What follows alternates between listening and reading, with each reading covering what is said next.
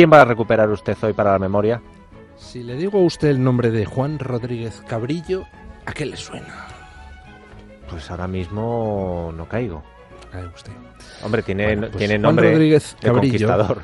sí, Juan Rodríguez Cabrillo fue el primer europeo en navegar las costas de California y por tanto en incorporar California al imperio español en el año 1542.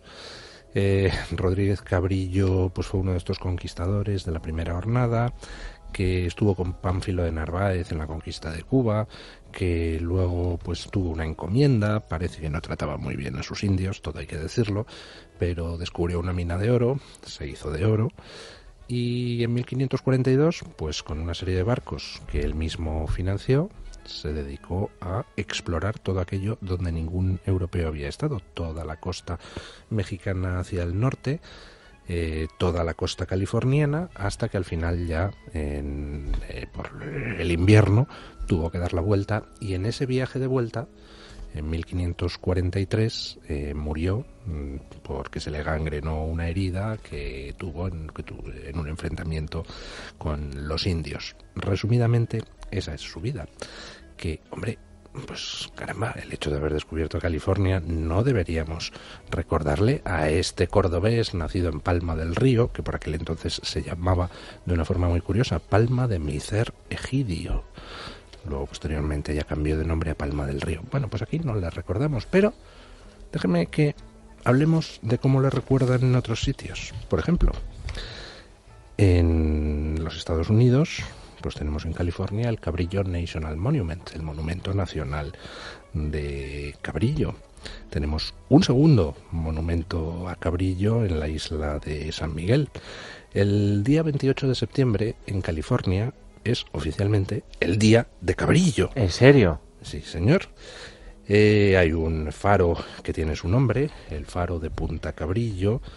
Eh, San Pedro, que es parte de la ciudad de Los Ángeles, tiene la playa de Cabrillo y el acuario marino de Cabrillo. Hay una escuela que tiene su nombre en Aptos, en California. Hay una escuela superior en Lompoc y otra en Long Beach que tienen su nombre y varias escuelas elementales. Hay una parte de la ruta de la autopista estatal de California número uno que se llama autopista de Cabrillo.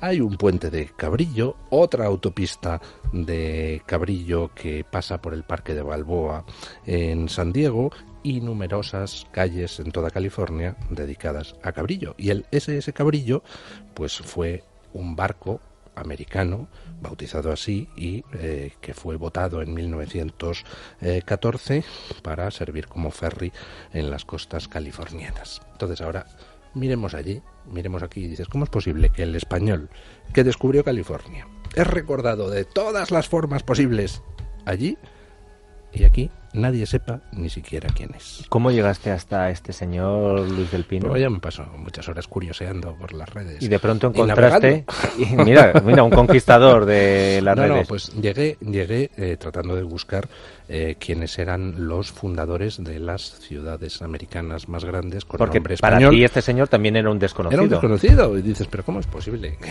no, que no que sepamos? toca narices. O sea, si hay probablemente uno de los sitios más importantes del mundo, porque California tiene el tamaño de un país, es California. Sí, Y de hecho los portugueses han estado durante siglos pegándose, eh, los historiadores portugueses, diciendo que Cabrillo era portugués, que aunque actuaba al servicio de la corona española, pero era portugués, tratando de reivindicar la memoria Portugués de Córdoba, del descubridor, del descubridor de California, argumentando que Cabrillo es un apellido muy portugués y tal, pero no, los documentos han demostrado que, no, que nació en Palma del Río. Entonces dices, Portugal pegándose por su memoria, eh, los californianos recordándolo de todas las maneras posibles, y aquí, pues nadie sabe quién es.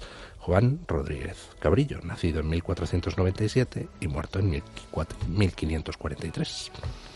Don Luis, muchas gracias.